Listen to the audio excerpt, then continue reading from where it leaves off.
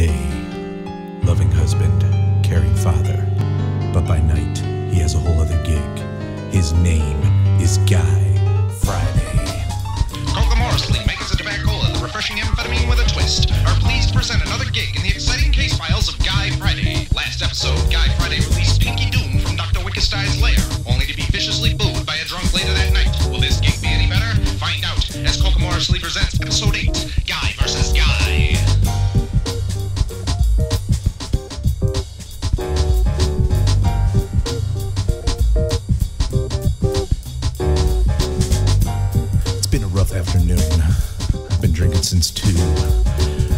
Gig later on at a bar at Lackawanna, and I really don't want to drive all that far for it, but, uh.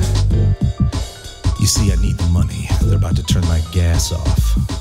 And I can't have my gas turned off. I have a wife and a child to take care of.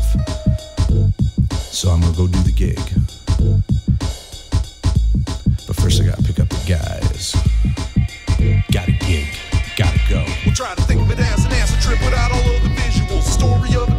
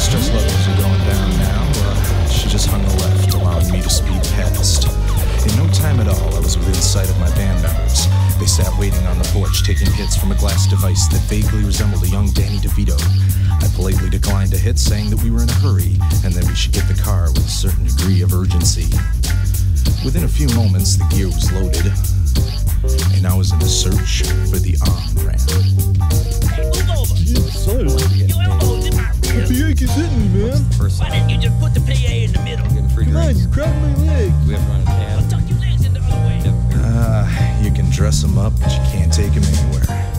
The guys continued their banter as I slid the caddy through dark, wet streets. That's when it dawned on me. Things were just a little too quiet and foreboding. Got a strange inky feeling from the surrounding evening. Can't describe it in human terms, really. It's like a set of eyeballs the grease on the surface of an eyeball is like it's touching you all over. It's like you're being watched. Hey guys, that other guy looks just like you. They were right. The strange figure blocking the road with his black Cadillac was a striking resemblance to yours truly.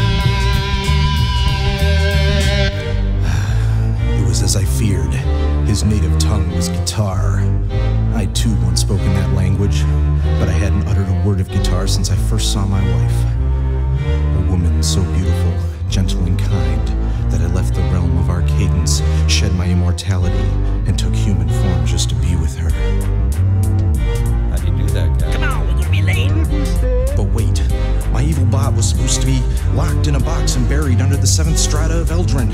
Why was he here now? And more importantly, what exactly did he mean when he said that he was going to lead my band members astray?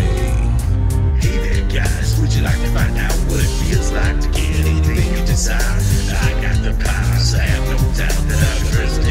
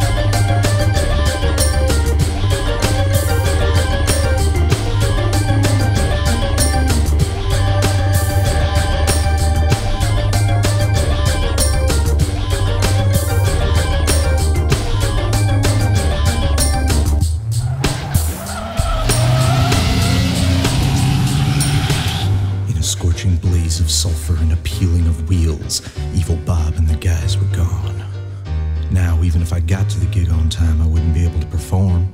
That was by far the tightest situation I'd ever been in. I know why Evil Bob wanted to harm me, though. I was the reason he spent the last century and a half trapped under seven layers of Eldrin soil. I still remember the Battle of Arcadens as if it were yesterday. I fought alongside Apollo, a god from Olympus, as my ally against Bob's wicked confederacy of Serath and the forces of the mundane. This was the last major conflict in Arcadens, and it seems almost cosmic being part of both sides. Every occupant of a cadence is a duplicate twin, but mine was always trying to plot our cadences and You see, our cadence is the barrier that keeps the mundane from dropping down upon the earth and making the people insane. The evil Bob decided it would be a delight if he could use the on gods and humans alike. So he made himself a deal with the evil Serath, the leader of the mundane, who signed a pact to attack when a war was waged. Cadence and the mundane. I fought alongside Apollo, kept the evil restrained. The humans were saved. I locked my Bob in a cage, dug a seven-layer hole in the open terrain. I dropped the cage inside, but Bobby swore revenge. Although I knew he'd never taste the air again, and he should still be there unless someone set him free. But who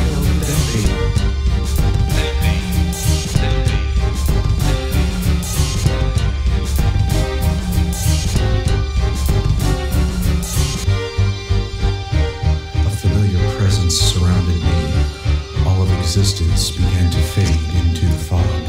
Now I wasn't even on Earth anymore.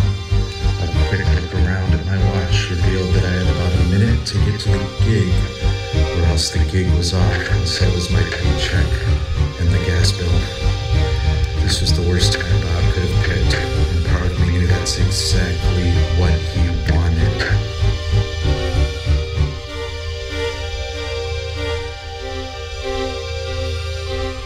Hey there, a guy. Apollo? In the flesh, so to speak. What, Ap- Apollo, what are you doing here? What, what is this place? And, and why are you talking like you're from Cheektowaga? I think you better understand me this way because you moved the buffalo. Um, it kind of helps. Well, um, what's up? Well, uh, I brought you here to warn you that uh, your evil Bob there got uh, loose. Yeah, I know. He just brainwashed my entire crew right before the gig. Gig, uh, uh, what's a what's a gig there? No time to explain. Listen, can you help me? I, I really need to get to a, this jazz bar in Lackawanna like in the next 30 seconds. Oh, yeah, I, I know that place. Uh, that uh, Bacchus, uh, they're almost every night drinking there. Really? Re- Bacchus? Does he still speak saxophone? You sure as he still plays the drums while he does it? Uh, what a guy, eh? Yeah. Yeah, great. You think you can get us there in the next few seconds? Uh, sure. Uh, just let me uh, change into my uh, mortal form here. Uh, Okay, great. Wait, um, that that's that's not mortal form. That's a cat. No, you can't go out like that. No, man. No, no you got to change it. No, come on. No, we're not ready to go back, man.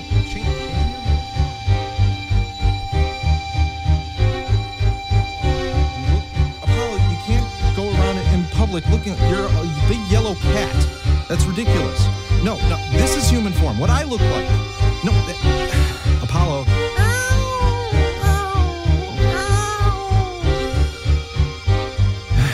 You have a point. Okay. Well, could, could you at least just get the caddy here? You remember? You know the car I drive. The the car I drive now. Yeah. Get make it come here. Come on. We got like ten seconds. Come on. Thank you. Thank you, Apollo. Okay. Let's get the piano out of the car. We got to hustle this up. We got to be on stage in five, four, three, two, one. The air was thick with cigarette smoke and old man sweat. This was the kind of bar that, despite the fact that you've never heard of it, looks like it's been around since the Pan Am Exposition. A strange kaleidoscope of 8x10s, automobile parts, and dim neon signs for beer long since discontinued, all draped on the nicotine stained walls like some cryptic evidence of an ancient civilization. I nodded to the bartender who jabbed an apathetic thumb towards a small, poorly lit stage. Apollo slumped alongside me, trying to look as inconspicuous as a large yellow cat could be in a decrepit jazz bar. He pulled over to a barred stool in which sat a man who could only be the god of alcohol himself, Bacchus. Hey, guy. Oh man, I haven't seen you in ages, guy. How you doing? Not too bad, Bacchus. Listen, I got a little problem here. What's up? See, Evil Bob has kidnapped my guys. Evil Bob is loose. We gotta put him back. No, no, hold on a second. Before I can do that, I gotta do this gig. Well, wait, what could possibly be more important than putting that evil son of a bitch back in his box? Listen, I gave up immortality for my family. So, if I need to rally you and Catboy here up to help me out up on this stage here, that's my first priority. Okay? After that, we'll go patch him up. I'll help you get it done. On Guy Friday, it's time for the game. We gotta go look, man. Listen, Apollo up on the drums. Bacchus, you grab that upright bass, sit your drunk ass down, and sing me some saxophone. And Guy Friday's gonna take the piano. What you got to say?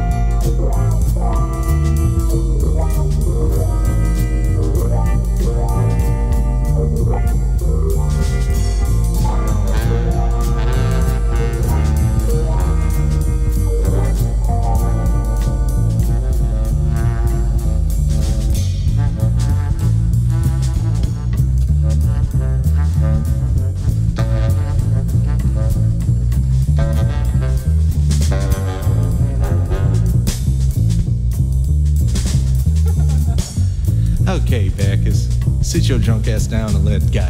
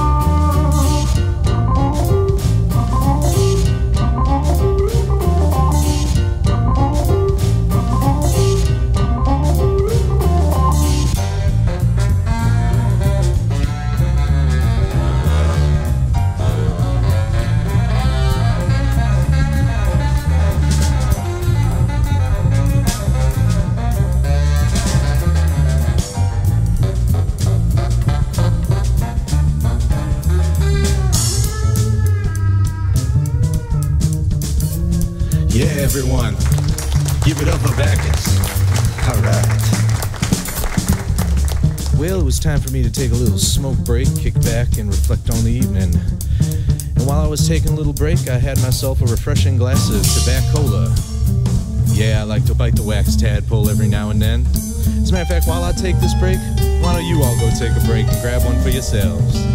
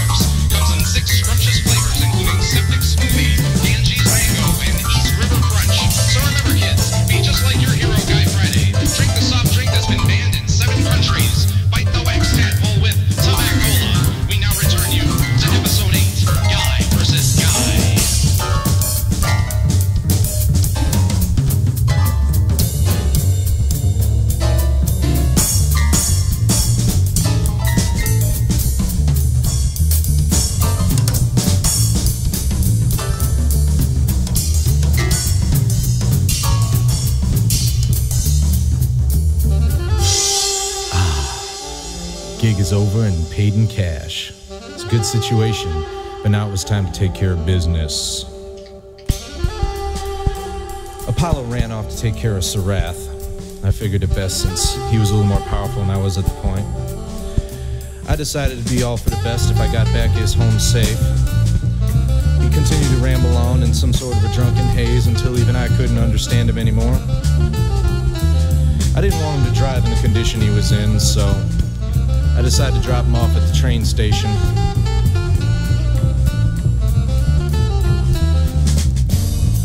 And we sat, and we waited. And we waited some more. And we waited some more. It's the metro. It really just takes forever to get there, you know? And finally the train arrived, and I put Bacchus on the train. You're welcome, Bacchus. Have a good night. What's that, Apollo? Awesome. Looks like he located Sarath. Now all we gotta do is take care of Evil Bob. His eyes and waved upon the air, and so I knew Apollo's senses had cut onto the trail. I had to save my crew, I had to answer the call, I had to deal with my doppelganger once and for all. Sarath would have to be next. Oh yes, it's like Apollo already took care of that mess, so I prepared myself for the battle that waited. Evil Bob, your wickedness will be abated. Evil Bob, I'm coming for ya. I'm coming. I'm bringing a gigantic industrial strength size can of whoop ass and use you as the can opener. There he is. Hey, Bob.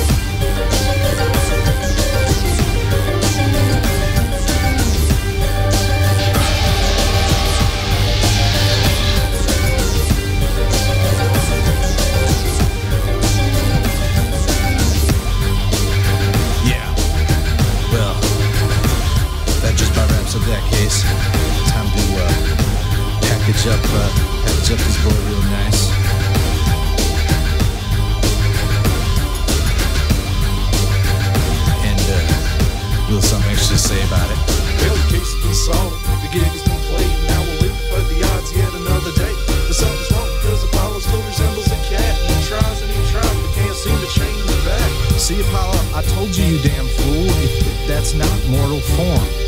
All right, I don't know where you got that. I mean, has the last 150 years made you that senile? Really? Okay, I'll tell you what, man. Look, you can't go to you, you can't you can't go back to Arcata looking like that, man. You, you just can't, man. Come on, you're the you're the mighty Apollo, the mighty sun god. You're gonna go back and looking like a yellow cat with, with striped things on you. Look, man, I'll tell you what. I got a place you can crash till you change back. Okay, how's that? Um. No, really, you'll like my. They'll like you. Okay, you're a big yellow cat. My daughter's gonna eat you up, dude. I mean, no, no, no, not like no. I mean, she'll love you. She'll, she'll, you know, you're you're a cat, man. I mean, you know, you're a cat. What do you want me to tell you, man? You, you, you don't even have the power to change back into your normal form. How are you even going to get back to Arcata? I mean, all right. Well, you're staying with me. Just don't don't give me that look. Come on. Don't give me that look. All right, you come on. I'll introduce you.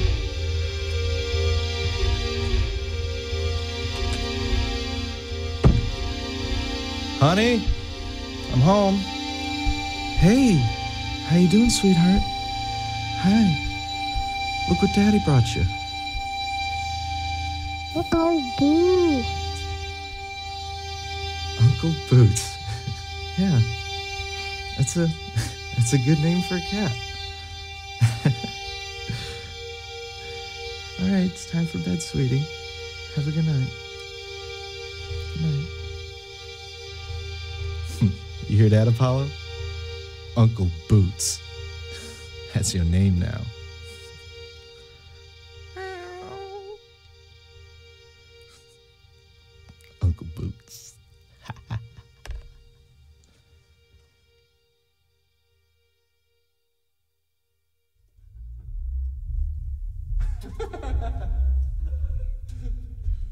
Okay, I'm done. I, I have to do it again.